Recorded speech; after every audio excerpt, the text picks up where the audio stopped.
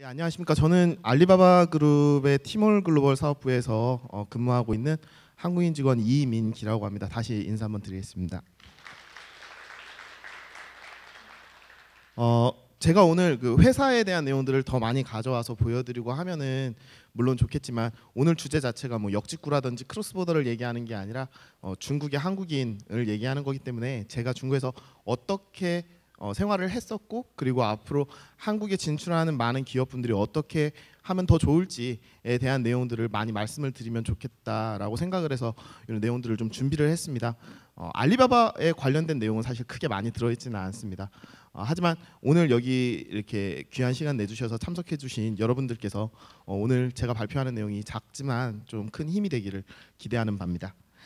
제가 설정한 제목은 중국에서 아직 살아남고 있는 한국인입니다. 말 그대로 아직은 살아있는 한국인입니다. 요즘 최근 들어서 위기도 굉장히 많고 모든 분들이 한중 관계에 대해서 고민을 많이 하시는데 어, 중국에서 일을 하고 있는 한국 사람으로서 어떻게 아직까지 살아남았는지 한번 여러분들께 말씀드리도록 하겠습니다. 우선 저에 대해서 간단하게 소개를 드리면요. 저는 2000년도쯤에 중국에 처음에 발을 디뎠습니다. 교통대에서 공, 중국어를 공부를 했고요. 어, 가장 첫 사회 경험은 중국 절강성 이유라는 곳에서 소상품 시장 소싱 가이드 역할을 하면서 중국 사람이라든지 한국 사람들을 많이 만나면서 어, 이런 사회 문화를 접하게 되었습니다. 그리고 이제 병역을 마치고 돌아와서 어, 그때 당시 폭발적으로 성장하던 타오바오에서 개인 셀러 를 했습니다. 한국에 있는 여성 의류들을 구매 대행하면서 중국 소비자들에게 한국 의류를 널리 알리기 시작했고요. 그러면서 중국 소비자들이 어떤 형태로 전자상거래에서 소비를 하고 구매를 하는지 이런 내용들에 대해서 공부를 하게 됐습니다. 그리고 뭐 이제 개인적인 창업으로 커피숍도 해보고요. 그리고 뭐 한국 기업 어, 만도라는 곳에서 한국 기업의 문화도 체험을 했습니다. 그리고 항주에 있는 심플렉스 인터넷 지금은 카페 24로 명칭을 바꿨다고 하네요. 어, 카페 24에서 항주 지사장을 근무하다가 알리바바 그룹의 티몰 글로벌 TFT 팀과 컨택이 돼서 어, 같이 이런 자문 역할을 하면서 관계를 갖고 어, 알리바바에 계신 한국 직원분의 추천으로 어, 알리바바 그룹에 입사를 하게 됐습니다. 어, 제가 말씀드리고 싶은 거는 저는 알리바바 그룹에 어 가야겠다라고 해서 간 사람은 아니에요. 준비를 한 사람도 아니고요. 적절한 시기에 적절한 능력을 갖춰서 좋은 기회가 있어서 제가 그 기회를 얻을 수 있었다고 그렇게 생각을 합니다. 그리고 알리바바에 입사를 해서 티몰 글로벌 어, 한국에서 말씀하시기는 역직구죠 해외에서 사는 게 아니라 역으로 판매를 하는 어, 플랫폼에서 근무를 하면서 한국 기업 뭐 아모레라든지 이마트라든지 뭐 위메프라든지 이런 기업들을 한국 유수의 기업들을 어, 입점 유치를 하게 됩니다. 어, 알리바바 직원이니까 알리바바에 대한 내용을 간단하게 한번 보여는 드릴게요. 제가 사진으로만 준비를 했습니다. 어, 저희 대표님이세요. 춘절이 되면은 이렇게 첫날에요. 이렇게 재물신 복장을 입고 직원들한테 세뱃돈 같은 걸 좀 나눠 주십니다. 좀 재밌는 이런 문화고요. 공룡이 있잖아요. 이거 접니다. 예. 11월 11일 행사 이제 얼마 안 남았잖아요. 다들 지치고 힘들어 있어요. 그런데 이렇게 각 팀마다 재밌는 복장을 하고 이렇게 분위기를 좀 웜업 시키는 이런 이, 이런 문화들이 있어요. 옆에 세일러문 있잖아요. 이건 저희 팀장입니다. 네.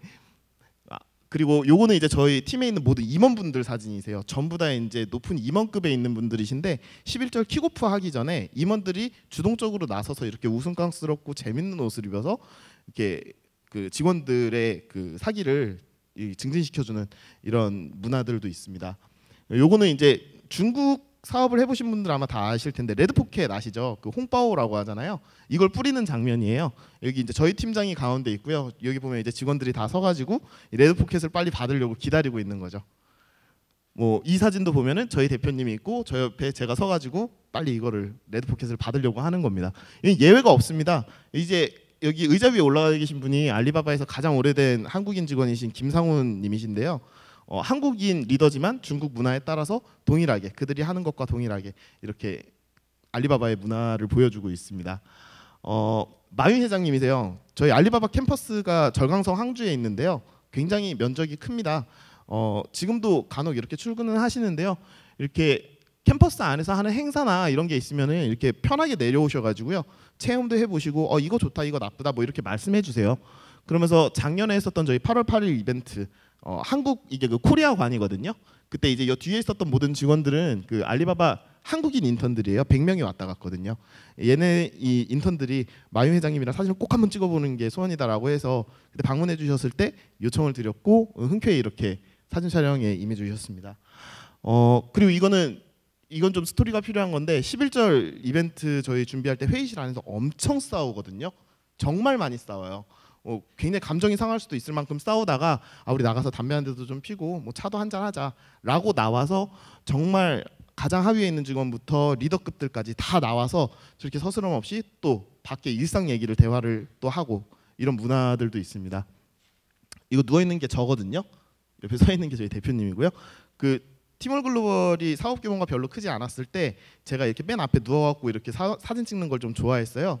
이제 대표님이 그걸 재밌어 하셔가지고 지금 직원 수가 300명이 넘는데 저희 팀 직원 수가 300명이 넘는데 사진만 찍으면 자꾸 저보고 저렇게 앞에 누우라고 합니다. 저는 멀리서부터 떼굴떼굴 굴러갖고 나가요. 그럼 또 이제 다들 재밌어하고 이런 문화가 있는 거죠. 여기서 제가 보여드리고 싶은 거는 그만큼 그냥 뭐 알리바바 중국 회사 수평 구조 뭐 이런 거를 많이 말씀하시는데 수평의 개념이 아니에요. 그냥 다 친구입니다. 그러니까 저희는 같은 동료 직원을 뭐 아, 동료 직원이라고 얘기하는 게 아니라 그 동쉐 중국말로 동쉐 하구라고 표현을 하거든요. 그런 것처럼 굉장히 모두의 열린 공간 안에서 열린 의견들을 조율을 하고 열린 형태로 회의와 토론 그리고 거기에서 결과물을 도출하는 그런 문화를 갖고 있다로 보시면 될 것 같습니다. 어, 제가 알리바바 포함해서 아직까지 중국에서 살아남을 수 있었던 필수 스킬들에서 몇 가지 말씀을 드릴게요. 첫 번째는 당연히 언어입니다. 많은 분들이 오해를 하세요. 어, 중국에 나는 좋은 통역이 있으니까 사실 언어 따윈 중요하지 않아. 한국인의 마인드로 접근해도 충분히 될 거야 라고 말씀하세요. 아닙니다. 언어는 필수 조건입니다. 말 한마디로 굉장히 어려운 조건들도 굉장히 어려운 상황들도 개선을 하고 해결을 할 수 있게 되고요.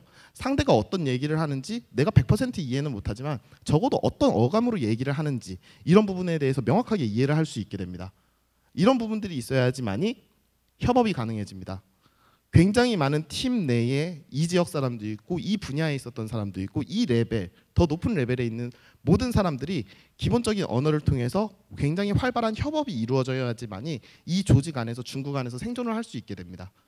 그리고 세 번째는 이런 협업이 이루어졌을 때 훨씬 그 빠른 속도를 낼 수 있게 됩니다. IT 기업들이 다 그렇지만 중국의 IT 기업들은 더 빠릅니다. 제가 가끔 가다가 뭐 고객분들이나 여기저기 이렇게 만나면 표현하는 것 중에 하나인데 달리기를 한다고 표현하거든요. 중국 사람 중국 회사는 제가 표현하자면 신발도 없이 바지도 그냥 어디서 주워 입은 거를 입고 막 달리기를 시작하는 거예요. 중국 회사 한국 회사들은 트레이너도 한 명 러너도 따로 뽑고요. 옷도 편한 거에 신발도 굉장히 우수한 신발을 다 신고 연습 운동을 하고 그 다음에 뛰죠. 그러다 보니까 속도 면에서 스타트 면에서 중국이 조금 더 빠르다고 저는 그렇게 생각을 합니다. 그래서 이 속도가 굉장히 중요한데요. 마지막으로는 평가. 작년에 중국의 한국인 그 알리바바 그 픽처스에 계신 그 매니저께서도 말씀하셨던 부분인데요. 모든 업무가 다 끝나면 그 바둑에서 복귀 두는 것처럼요. 평가를 다시 다 합니다. 모두가 다 모여서 어 우리가 요 부분은 정말 잘했었네. 어요 부분은 우리가 좀 더 개선을 해야겠네. 이런 부분을 항상 염두에 두고 진행을 하는 거죠. 그리고 잘 된 부분들은 더 잘할 수 있게 준비를 하고요. 잘 못했었던 부분들은 좀 더 개선을 합니다. 그렇기 때문에 그 향후에 동일하거나 비슷한 컨셉의 커, 그, 프로젝트를 진행했을 때 당연히 좀 더 좋은 성과를 낼 수밖에 없겠죠. 그만큼 중간에 점검하는 시간이 더 많고 이 평가에 대해서 자신이 정확하게 인지를 하고 받아들이고 개선하는 이런 부분들이 중국 문화에 남아 있고 거기서 근무를 하는 한국인 역시 이와 같은 문제를 받아들이고 따라갈 수 있게끔 준비가 돼야 된다고 생각합니다. 어, EGN이라고 써 있잖아요. 혹시 이거 한문 한국에서 많이 안 쓰기는 하는 건데 혹시 무슨 뜻인지 아시는 분 계세요? 이게 알리바바는 자기 본명을 잘 못 쓰게 돼 있어요. 다 이제 자기 별명 화명을 지어야 되는데요. 이게 제가 중국에서 회사에서 쓰고 있는 이지엔이라고 하는 이름입니다. 예, 문익점의 익점입니다. 저는 알리바바에 입사를 해서 화명을 고르라고 할 때 어, 한국 기업들에게 저는 이제 역직구의 한국 시장을 담당하는 사람이기 때문에 한국 기업들에게 모카시 같은 어, 이런 좋은 걸 알려주겠다. 라고 하는 기본적인 마음을 갖고 입사를 하게 됐습니다. 그런데 여기에 입사를 해서 보니 중국에 진출하는 많은 한국 기업들이 사실 좀 가슴 아픈 부분들이 굉장히 많았어요. 제가 말씀드리고 싶은 어, 아쉬운 부분들에 대해서 이제 좀 말씀을 드리고자 합니다. 뭐 이제 작년도 그렇고 좋은 말씀들 많이 해주셨는데 제가 정말 이 피부와 살로 느꼈던 너무 안타까웠던 부분들에 대해서 말씀을 드리자면 첫 번째 해외 진출하면 다 그렇게 말씀하시죠. 현지화해야 돼. 현지화해야 돼. 우리는 글로벌 기업이니까 현지화해야 돼. 그런데 막상 사실을 들여다보면 그게 아닙니다. 현지화를 한국화해 버립니다. 현지의 법인을 내고요. 현지의 사람을 뽑고요. 그리고 현지의 기준에 맞춰서 그 사람들을 운영을 해야 되는데 그 현지 사람들을 완벽한 한국인의 기준으로 운영을 해버립니다. 예를 들면 인사 규정 같은 거를 말씀드릴 수 있을 것 같아요. 인사 규정 뭐 한국에는 퇴직금 제도가 기본적으로 있잖아요. 중국은 사실 퇴직금 제도는 그렇게 있지는 있는 편은 아니거든요. 근데 대신에 뭐가 있냐면은 매년 어, 춘절 전 해에 최소 3배 이상의 상여금을 줘야 됩니다. 급여의 3배 이상. 이게 어떻게 보면 중국 사람들에겐 가장 기본적으로 깔려 있는 인사 규정 중에 하나예요. 하지만 해외 법인을 뽑고 해외 직원들을 뽑았는데 한국 인사 규정에 맞춰서 우리는 그런 규정이 없으니 그런 걸 하지 않아도 돼라고 많이 결정들을 하시는 거죠. 이런 부분들이 직원들의 오해를 불러 일으킬 수도 있고요. 중국 인원들의 충성도와 바로 직접적인 관여를 일으킬 수 있는 겁니다. 두 번째, 중국은 그래도 돼. 아직까지 굉장히 많은 분들이 이 말씀을 하세요. 특히 오래 계시면 오래 계신 분들일수록 더 이 말씀을 많이 하세요. 중국은 그래도 돼 라고 말씀하세요. 역직구만 봐서 한번 얘기를 하나 드려볼까요? 어, EMS 혹은 뭐 그냥 일반 배송, 우르 중국의 배송 그래도 돼. 중국은 그래도 돼. 아닙니다. 합법은 아니에요. 정식적인 통관 정찰을 해서 물건을 보내야겠죠. 두 번째, 중국의 취업 비자 받는 게 굉장히 어렵습니다. 어, 그냥 상무 비자로 가서 근무해도 돼. 아닙니다. 그거 불법 취업이에요. 명확하게 법인에서 발급을 신청을 한 취업 비자를 받아서 근무하셔야 됩니다. 그래서 급여가 나올 때도 4대 보험을 제외한 중국의 계좌로 입금이 돼야 되고요. 중국은 그래도 되라고 하는 건 굉장히 위험합니다. 물론 10년, 20년 전에 중국에 굉장히 많은 분야에 있어서 체계가 없었던 건 사실이에요. 하지만 그건 10년과 20년 전의 이야기입니다. 지금 중국의 대도시들은 이미 굉장히 많이 체계화가 되어 있고 굉장히 빠른 수준으로 발전을 하고 있고 준법 정신을 지키는 스타트업 기업들이 더욱 더 많이 늘어나고 있습니다. 거기서 한국 기업들이 이런 준법 정신을 기본적으로 지키지 않는다면 나중에 크게 이 기업이 성장을 한다고 하더라도 그 성장을 한 시점에서 모든 것들이 물거품이 되어버릴 수도 있습니다. 이런 부분을 꼭 염두에 두시기 바랍니다. 그리고 세 번째, 우리는 한국 회사라서 아까 첫 번째랑 크게 뭐 다르지는 않은 내용인데요. 어, 이 부분은 이제 좀 중국의 회사를 차리는 좀 지사 개념들에 제가 꼭 하, 해드리고 싶은 말씀이에요. 중국의 회사를 만들었음에도 불구하고 모든 결정권을 한국 본사가 갖고 있습니다. 좀 아이러니하지 않나요? 중국에 있는 중국 직원들, 중국 직원들의 결정권자들, 그들의 의견은 대부분이 무시가 되죠.